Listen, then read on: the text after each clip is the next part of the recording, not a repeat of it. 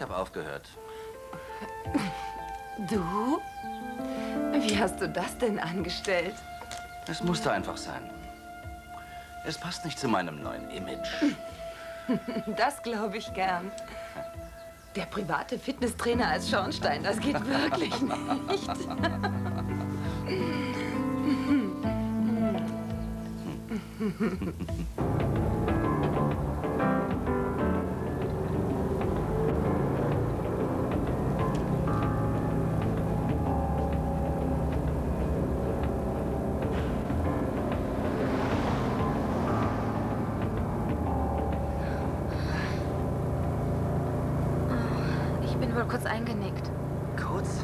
seit wir aus Texas raus waren geschlafen wie ein Stein.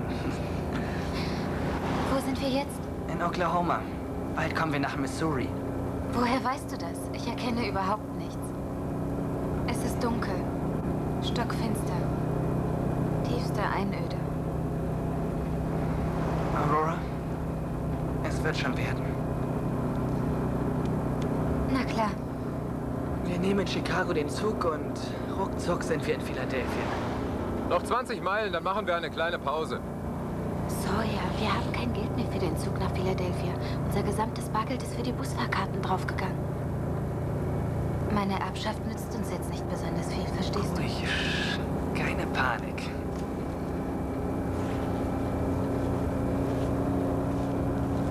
Wo kommt das viele Geld auf einmal her?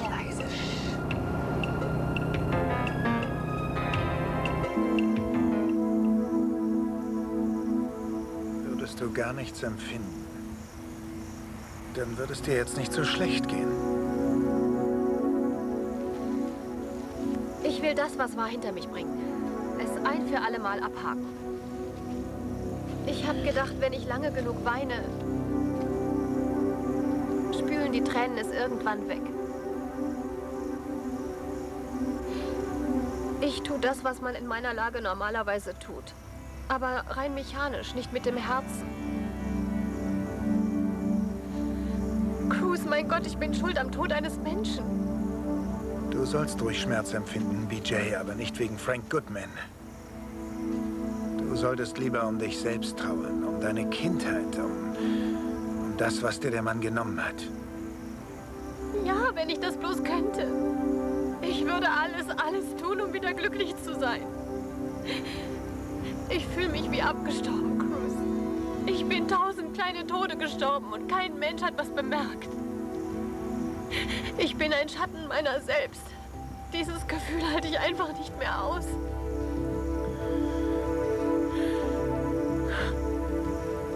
Mein Gott, Frank ist doch tot. Warum finde ich nicht zu mir selbst zurück? Warum nicht Cruz? Keine Angst, das wirst du schon irgendwann. E- eines Tages kommst du darüber hinweg. Glaub mir, ich verspreche es dir. Hilfst du mir? Aber ja, natürlich. Du kannst immer auf mich zählen, das schwöre ich dir.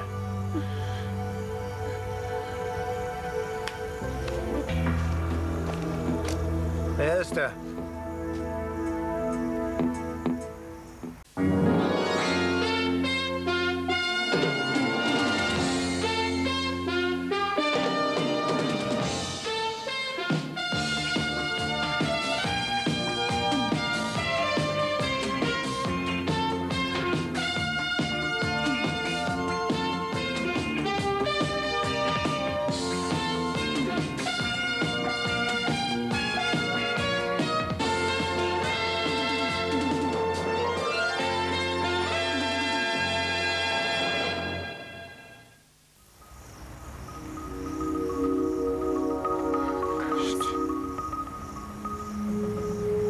Spricht die Polizei. Kommen Sie sofort heraus.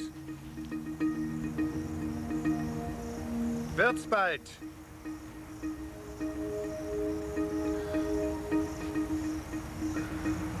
Bestimmt bloß ein Kojote. Los? Sind die nicht gefährlich? Nur wenn Sie sich bedroht fühlen oder krank sind. Ich bring dich jetzt lieber nach Hause. Du liebe Zeit, alles bloß das nicht. Warum nicht, BJ? Meine Mutter ist dort. Ich will nichts mehr mit ihr zu tun haben. Ja, das habe ich gemerkt. Du darfst deine Mutter nicht für dein Unglück verantwortlich machen. Sie ist keine überirdische Heldin mit Röntgenblick, sondern ein Mensch aus Fleisch und Blut. Sie hat ihre Schwächen und Fehler. Und Frank Goodman war ein Meister in Sachen Täuschung. Was auch auf dich zutrifft.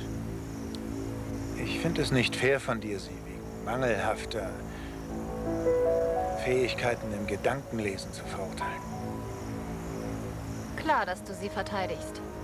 Das tue ich doch überhaupt nicht. Ich muss sie nicht verteidigen. Sie hat nichts falsch gemacht. Sie hat immer versucht, so zu sein, wie du sie gerne haben möchtest. Und ich glaube, wenn du die Vergangenheit abhaken willst, wie du sagst, und dich wieder lebendig fühlen und zu dir finden willst, musst du deiner Mutter verzeihen. Niemand auf der ganzen Welt liebt dich so sehr wie sie.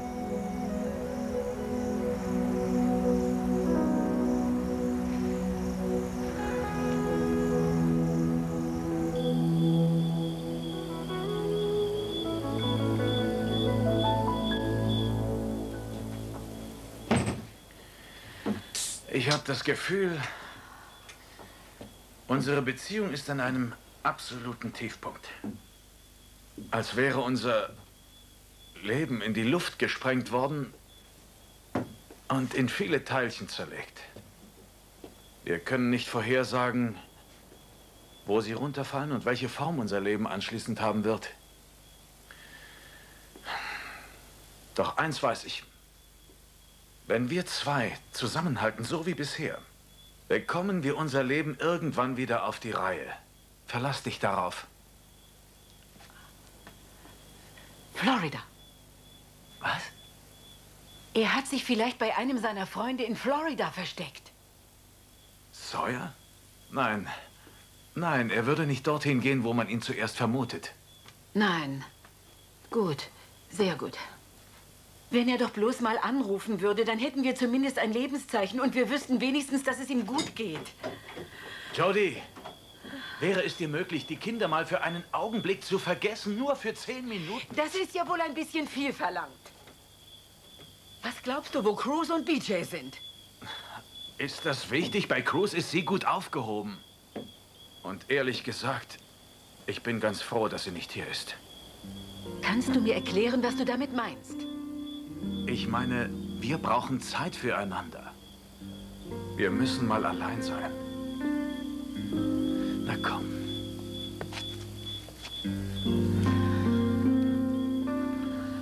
Besser? Ja, ich denke schon.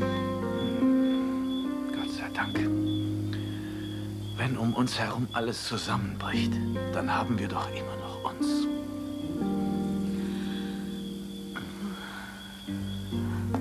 Business Class. Na schön, Hauptsache ich kann heute noch fliegen. Sonnenbrille? Hm, die liegt im Wagen. Ich hole sie am besten sofort, sonst vergesse ich sie noch. Jetzt aber schnell. Herrgott, begrüßt du alle Gäste so? Gäste sind mir willkommen. Du nicht. Was hast du hier verloren? Willst du noch mal versuchen, mich herumzukriegen? Nein, ich möchte mich bei dir entschuldigen. Mach es kurz, ich muss gleich zum Flughafen. Ich warte auf ein Taxi. Willst du denn verreisen? Und ob? Nach Hongkong.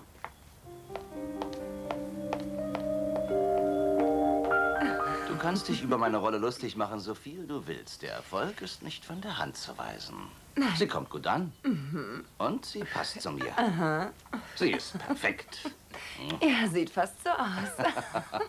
Erzählst du den Leuten deine alte Lügengeschichte, wie du als werdender Arzt deine Freundin, die Krankenschwester, mit deinem besten Freund im Bett erwischt hast? Das ist nicht gelogen. Nein, nur teilweise.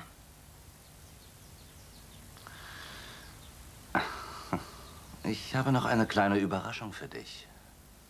Ist das wahr?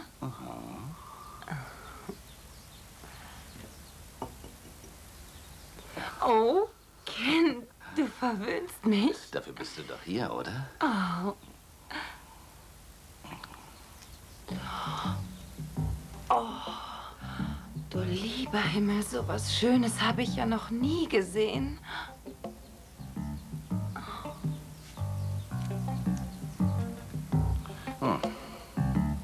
Bei seinem Rückzug versucht er noch, seinen Willen durchzusetzen. Wenn du möchtest, nehme ich die Brosche so lange in Verwahrung, bis du vergessen hast, von wem Gute sie kommt. Idee und pack das Ding möglichst weit weg. Schon geschehen. Danke. Das ist wirklich das schönste Geschenk, das ich je bekommen habe. Woher hast du die? Die Dame mit dem guten Geschmack hat mich beraten. Ist die Betreffende auch deine Geliebte Ken? Bitte, das Geld ist von BJ? Ja, sie hat es in ihrem Rucksack versteckt, den sie vor dem Polizeirevier für mich abgestellt hatte.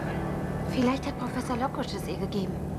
Wenn ja, geben wir es ihm zurück, wenn alles vorbei ist. Okay. Das dauert aber noch etwas. Hier. Das nehme ich an mich.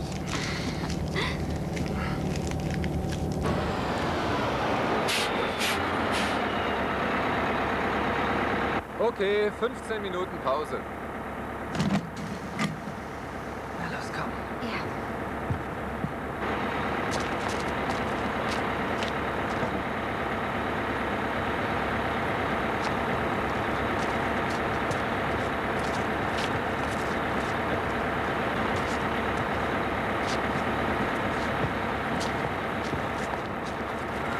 Hallo.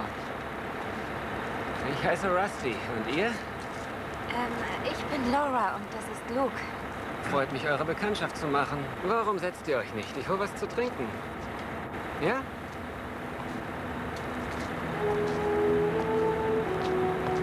Luke und Laura? Wie kommst du denn darauf? Tja, ich habe wahrscheinlich zu viele Krimiserien gesehen.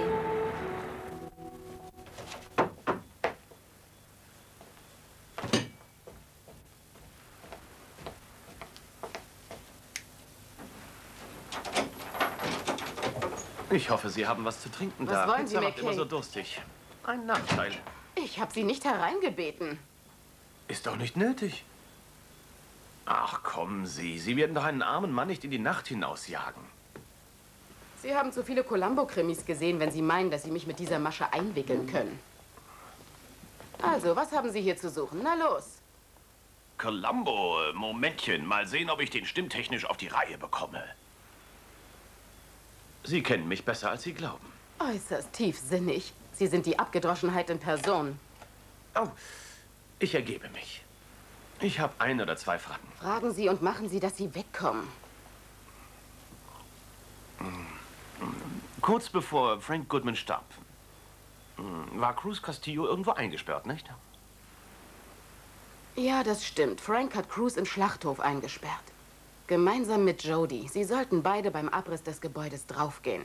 Mhm. Nur eins verstehe ich dabei nicht. Wieso Jody? Wie meinen Sie das? Warum nicht Sie? Warum nicht Reese und Jody oder Cruz und Reese? Erzählen Sie mir das.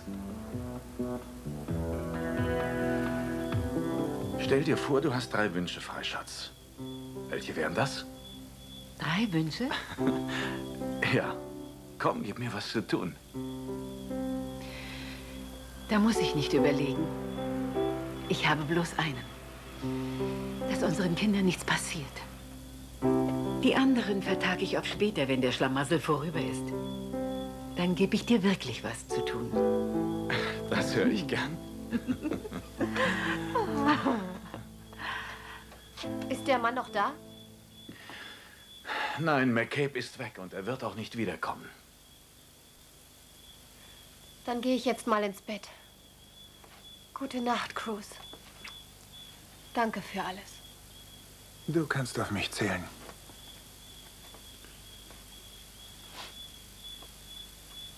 Gute Nacht, Dad. Gute Nacht, mein Schatz. Sie hasst mich. Nein, Doch? Das tut sie nicht. Sie ist nur durcheinander und todmüde. Ihr geht im Augenblick eine Menge im Kopf herum. Du musst etwas Geduld mit ihr haben. Wo seid ihr zwei gewesen?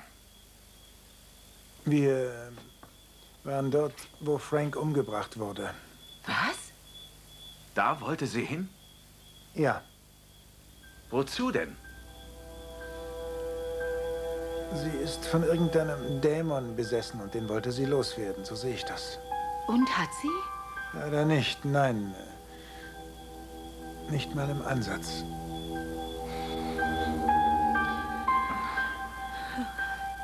Nach Hongkong, hm? Darf ich dreimal raten? Nicht nötig. Ich will Ken überraschen. Hältst du das für klug? Oh, ich finde, das ist eine fabelhafte Idee. Ich meine nur, immerhin ist er auf Geschäftsreise. Sein Vertrag mit Gina Jeans ist frisch unterzeichnet. Willst du ihn da wirklich ablenken? Sieht fast so aus. Vorhin hättest du es beinahe geschafft. Dein Charme ist sehr gefährlich, mein Guter. Du hast ihn offenbar unbeschadet überstanden. Ja, allerdings. Und, äh, und nicht nur das. Er hat mir beide Augen geöffnet. Mir ist klar geworden, ich liebe Ken inzwischen sehr. Ich könnte mir vorstellen, ihn zu heiraten. Er ist Ginas Laufbursche. Du redest absoluten Unsinn. Sehe ich vielleicht so aus? Verdammt nochmal, das ist doch Unsinn. Du kennst den Mann doch überhaupt Sissi. nicht. Bitte hör mich an. Bitte lass mich ausreden. Sophia, von meinen Gefühlen will ich gar nicht reden. Ich spreche jetzt als guter Freund zu dir, als jemand, der dich seit Ewigkeiten kennt und sich um dich sorgt. Bitte mach keinen Fehler mit ihm. Du kennst ihn kaum. Lass dir Zeit. Wenn er der Richtige ist, läuft er dir nicht weg. Wir beide haben uns früher immer in die Weinlaube gesetzt, wenn es darum ging, die Probleme dieser Welt zu lösen. Komm, wir wollen in aller Ruhe darüber Nimm reden. die Finger weg! Das kann doch wohl nicht wahr sein. Du, du versuchst sogar jetzt, mich herumzukriegen, aber diesmal hast du endgültig verspielt, mein Lieber. Schreib dir gefälligst eins hinter die Ohren, und zwar ein für allemal. Also hör zu. Ich liebe Ken wirklich. Und wenn ich beschließe, ihn zu heiraten, dann ist das meine Sache, nicht deine. Ich muss mich mit dir nicht unterhalten. Ich muss nicht mit dir in der Laube sitzen. Und wenn du mein Freund bleiben willst, woran dir ja angeblich so viel liegt, dann wünschst du mir Glück und lässt mich in Frieden. Sie hat ihre Gefühle so viele Jahre hindurch unterdrückt, dass sie sie gar nicht mehr benennen kann. Ja, und bis es wieder soweit ist, macht sie sich bittere Vorwürfe, weil sie nicht um Frank Goodman trauert. Weil sie nicht aufrichtig um ihn weinen kann. Ich habe ihr versucht zu erklären, wie absurd das ist, aber das übersteigt meine Fähigkeiten. Ich werde mich zu ihr setzen und warten, bis sie einschläft. BJ kann sich nicht von ihren psychischen Wunden erholen, bevor sie nicht die Probleme, die zwischen ihr und mir bestehen, überwunden hat. Das mit Frank ist bloß die nächste unmittelbare Hürde. Über die kommt sie mit Hilfe einer Therapie schon hinweg. Aber das wahre Problem ist ihr Verhältnis zu mir. Sie braucht einfach einen Sündenbock, Jodie. Das hat bestimmt nichts mit dir persönlich zu tun. Hast du mir überhaupt zugehört? Sie kann das, was passiert ist, erst bewältigen, wenn sie die zwischen uns bestehenden Probleme bewältigt. Und die kommen von dem Geheimnis, das ich mit mir herumtrage. Dass du ihr Vater bist. Was? Ich finde, sie muss die Wahrheit erfahren.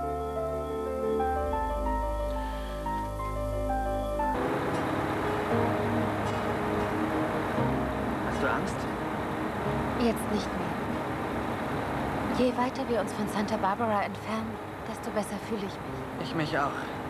Aber wir dürfen nicht unachtsam werden. Wir müssen immer damit rechnen, dass uns vielleicht jemand verfolgt. Klar, ich gebe dir Deckung und du mir. Ich liebe dich. Ich dich auch.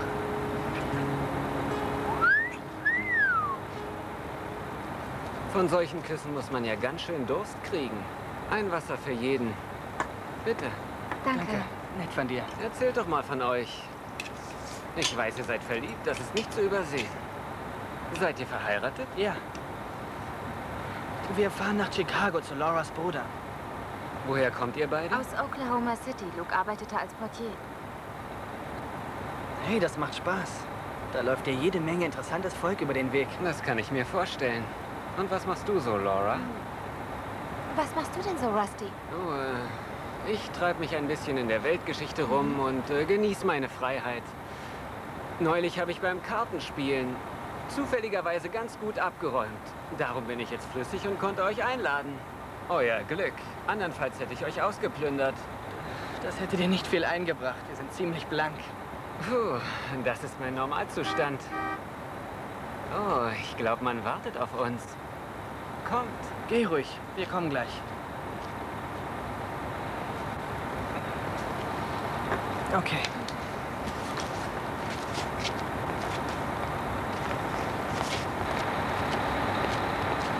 Halt, ich helfe Ihnen. Das ist aber nett. Hier, Ma'am, Ihre Tasche. Kommen Sie. Vorsicht. Kann es weitergehen? Ja, ja, wir sind soweit. Na dann mal rein mit euch. Und du? Ja, ich steig hier aus.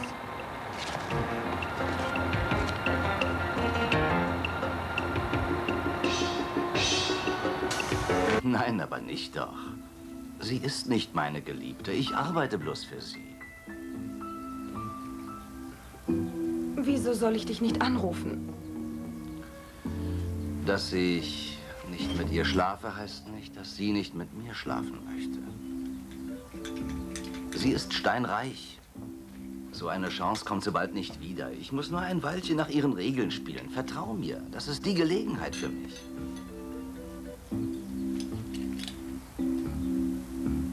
Ich mache das für uns.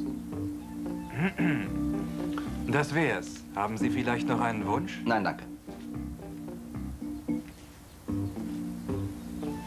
Für Sie. Vielen Dank, Sir.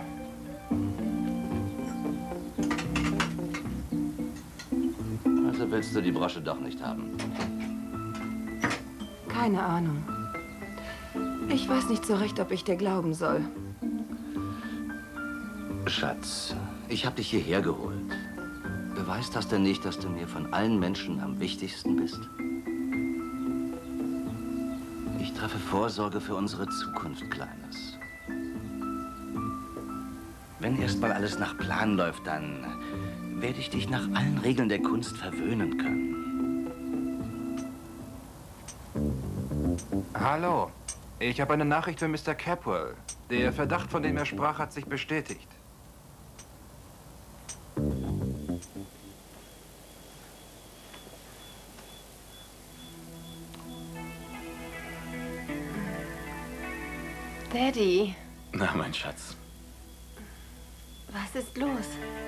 Habe dich nur warm zugedeckt, wie früher, als du klein warst. Ja, ich weiß. Das war schön. Ja, stimmt. Du hast mir immer Geschichten erzählt, wenn du am Bett gesessen hast. Ich glaube, fürs Warmzudecken hatte ich bedeutend mehr Talent. Ich mochte die Geschichten. Wirklich? Mhm. Sie handelten immer von drachenjagenden Helden und Rittern in schimmernden Rüstungen und wunderschönen Prinzessinnen. Es gab nur Gut und Böse. Alles war ganz einfach. Doch so ist das wahre Leben nicht. Und ich habe manchmal das Gefühl, dass ich dich fehlgeleitet habe. Wie kommst du denn darauf, Daddy? Du bist der Einzige, bei dem ich mich noch geborgen fühle. Ich bin immer für dich da, Liebling.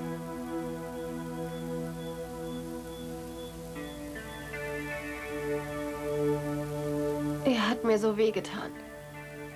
Ich weiß. Ich schwöre, wenn der Kerl nicht schon tot wäre, Ich dann... spreche nicht von Frank. Ich spreche von Warren.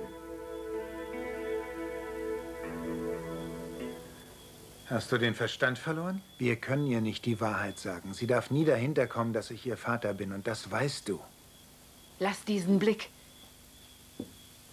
Ich weiß nicht das Geringste. Bitte vertrau mir doch, Jody.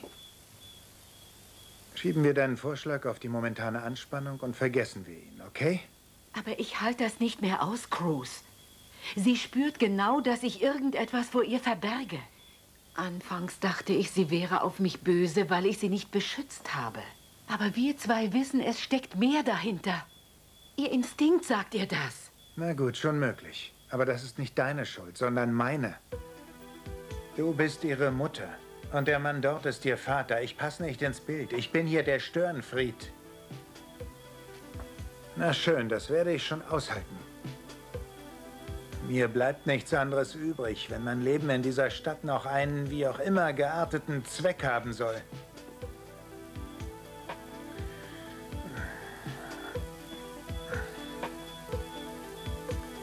Du hättest uns vorhin sehen sollen, Jody. Ich musste zuhören, wie sie über sich sprach, als wäre sie ein Untermensch. Ein herzloses Monster. Ich hätte sie am liebsten gepackt und an mich gedrückt und ihr ins Gesicht geschrien. Alles wird wieder gut. Ich bin dein Vater. Ich bin für immer für dich da und beschütze dich mit all meiner Kraft.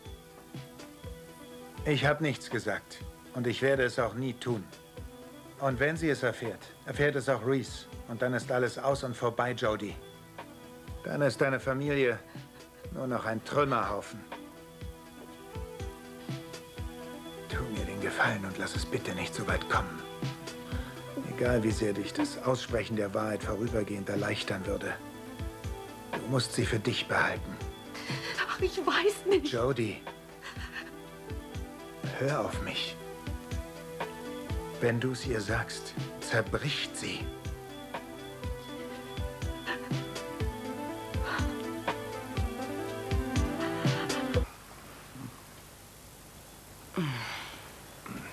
Wollen Sie wirklich nicht? Ich will nur eins. Dass Sie Ihr bizarres Abendessen beenden und mein Haus verlassen. Es ist schon spät und ich will endlich schlafen. Sie sind nicht besonders gastfreundlich. Bitte. Okay. Die Walkers. Ja, was ist mit Ihnen? Sie haben ein paar Probleme. Oh, ein paar Probleme. Warum sagen Sie nicht, was Sie meinen? Oh, großer Gott. Die Walkers machen gerade eine furchtbar schwere Zeit durch. Sie haben erfahren, dass ihre Tochter sexuell missbraucht wurde, und zwar seit ihrer Kindheit. Der Betreffende hat versucht, Jody zu ermorden. Sawyer wird ein Mord angehängt, den er nicht begangen hat. Obwohl er, wie manche meinen, durchaus im Recht gewesen wäre. Es tut mir sehr leid, dass die Familie nicht ihren verstaubten Fernsehvorstellungen entspricht. Sind Sie sicher, dass Sawyer es nicht war? Ja, Wer war es dann? keine Ahnung. Nicht die geringste, okay? Jetzt verschwinden Sie bitte. Na gut, ich weiß, wann ich unerwünscht bin. Ach ja? Sah ganz anders aus für mich. Zu Beginn meiner Ermittlungen äh, dachte ich, Sie wären an der Verschwörung nicht beteiligt. Irgendwas in Ihren Augen hat mir gesagt, dass Sie die ganze Sache bloß vom Rand aus beobachten. Aber ich habe mich geirrt. Gute Nacht, McCabe. Gleichfalls. Sie sind eine wunderhübsche Lügnerin. Was haben Sie hier verloren? Ich habe nur Ihre Freundin besucht. Schönen Abend noch. Hat die Pizza geschmeckt? Hör mich doch erst mal an. Bitte, ich bin ganz ohr.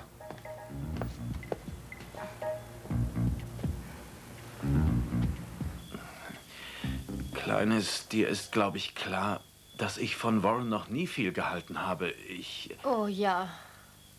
Du verstehst sicherlich, dass das ein ganz schöner Schlag für mich ist. Wieso könnt ihr nicht einfach befreundet sein? Das geht nicht, Daddy. Weil ich ihn liebe. Ich bin in die Wüste gegangen. Ich dachte, ich würde an dem Ort, wo es passiert ist, wo mein Frank erschossen hat, irgendetwas empfinden. Aber nichts geschah. Ich hatte nur eine beängstigende Leere in mir.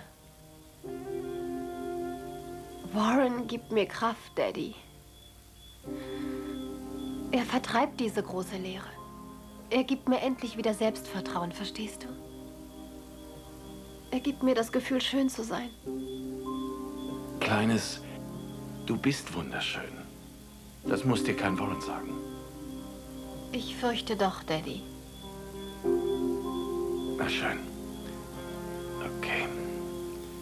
Ich äh, bitte dich nur um einen Gefallen. Könntest du, wenn möglich, deine Gefühle noch ein Weilchen in Schach halten?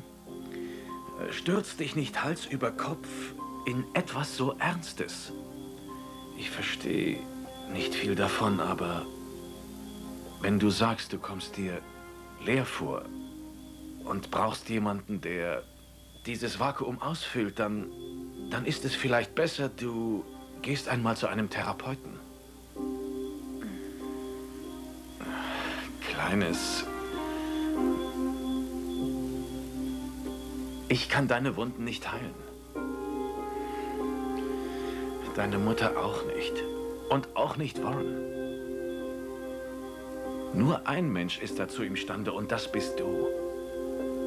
Aber du solltest dir helfen lassen. Von einem Fachmann, nicht weil ich das möchte. Oder deine Mutter. Oder vielleicht Warren. Du musst selbst den Wunsch haben.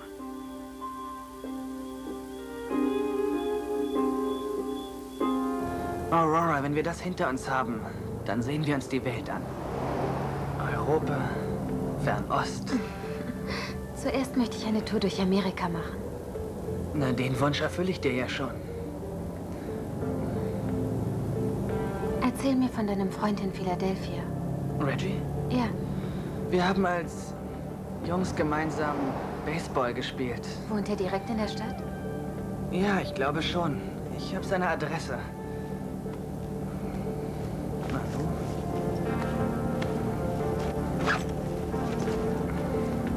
Meine Brieftasche?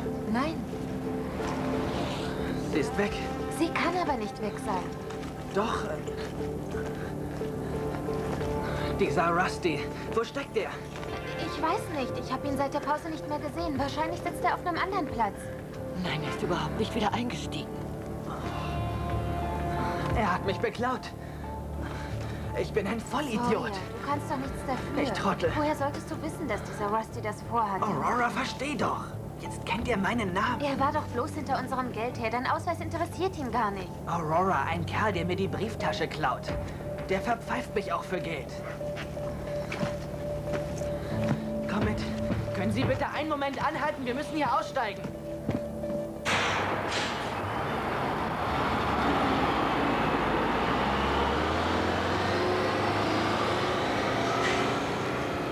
Sawyer. Fahrer sagt, nach St. Louis sind es noch knapp 90 Meilen. Wozu haben wir unsere Beine?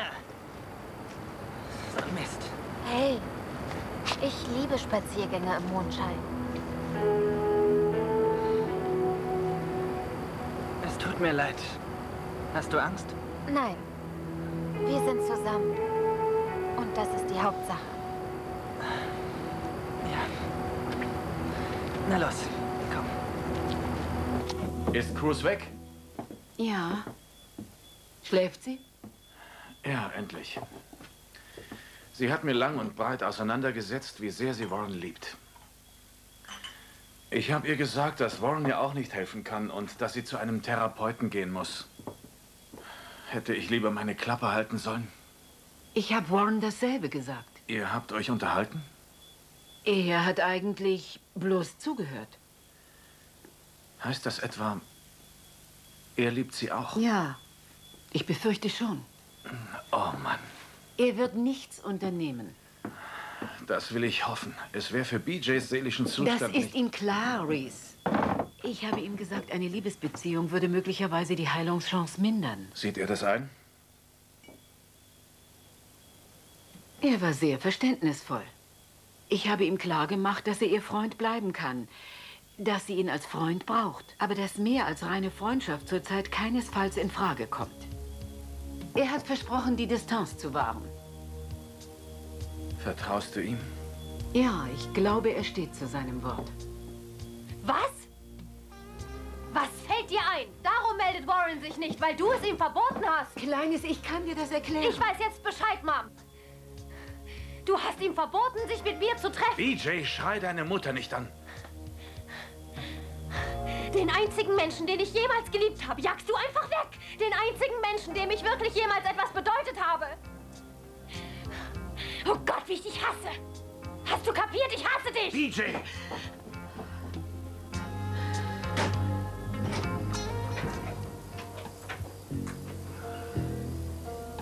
Hey, wach auf!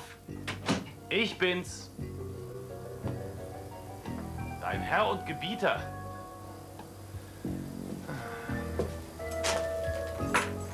Ich sag dir, ich war eben zu Besuch bei der vielleicht bezauberndsten, prachtvollsten Frau, die ich je getroffen habe. Werd nicht gleich eifersüchtig. Du bleibst die Nummer eins. Ich bin nur durcheinander.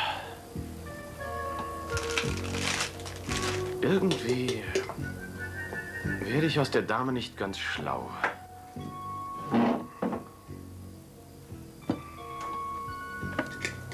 Sie ist schon bemerkenswert, diese Kelly Capwell.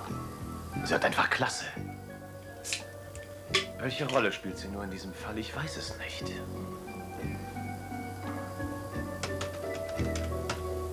Hey, rat mal, wen ich heute am Tatort gesehen habe. Cruz Castillo und BJ Walker.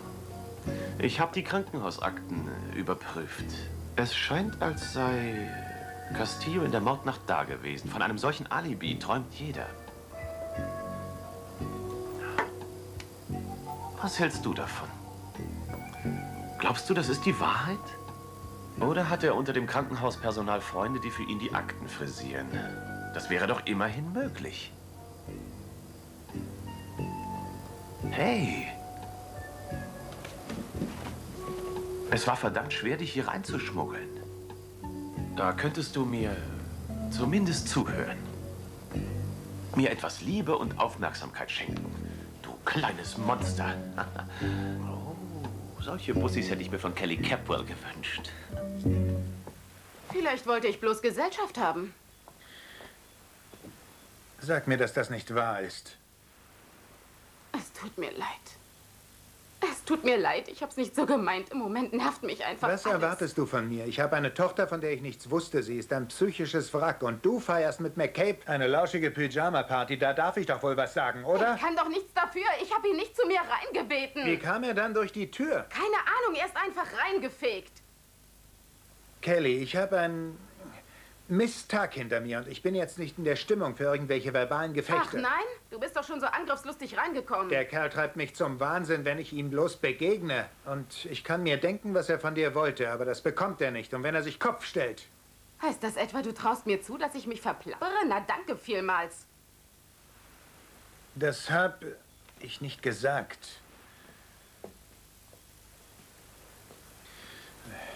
Was tun wir hier?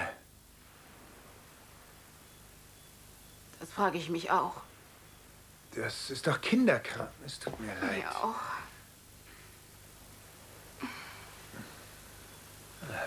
Gott.